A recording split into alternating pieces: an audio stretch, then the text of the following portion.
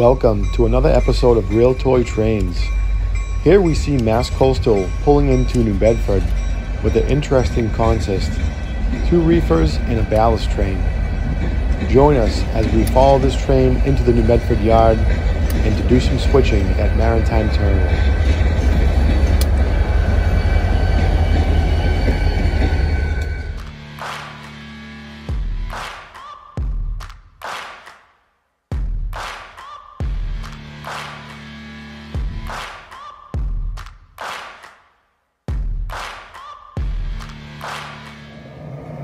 We see Bay Colony 1706 throttling up at the south end of the wye. Strangely enough, today they have no cars to interchange with Mass Coastal. They will turn their train on the wye and head back in the reverse direction.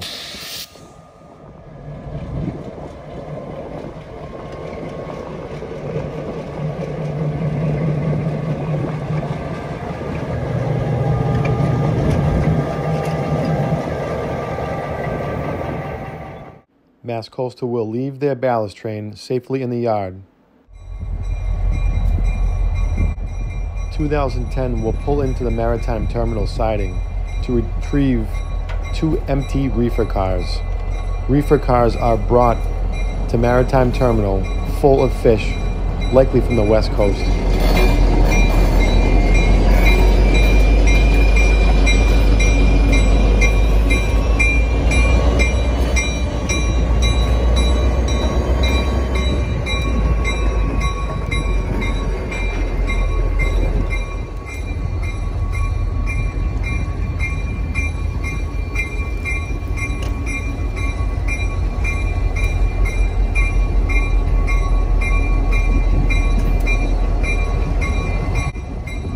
Two thousand ten is quite the handsome locomotive. Bonus points for anyone that can put the model of this locomotive in the comments. Let's see if you can guess.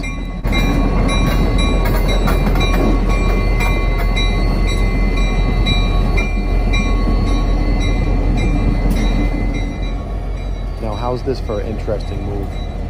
2010 will take out the empty reefers, run around its train in the New Bedford yard, hook on to the two reefers that have fish loaded up from the west coast, shove all four reefers back into the maritime terminal siding, and leave the two reefers full of fish for distribution on the east coast.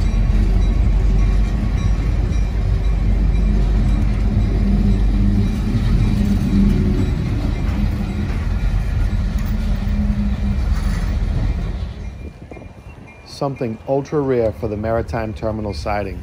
A four car train. Look at this. I'm not even sure if this happened back in the Conrail days.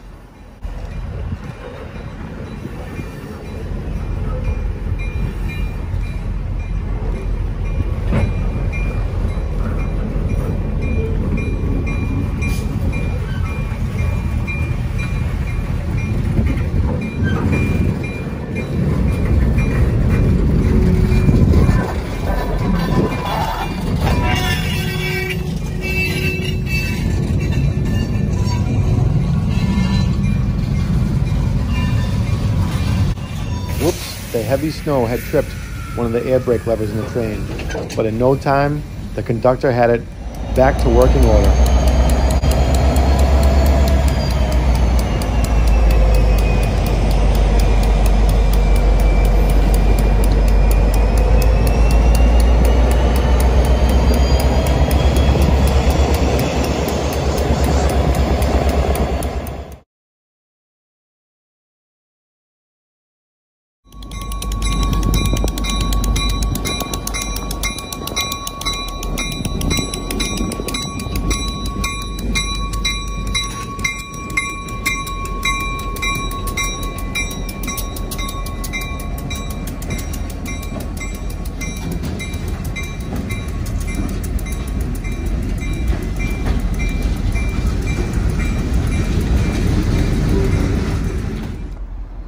After a hard day's work, MC4 leaves New Bedford Freight Yard.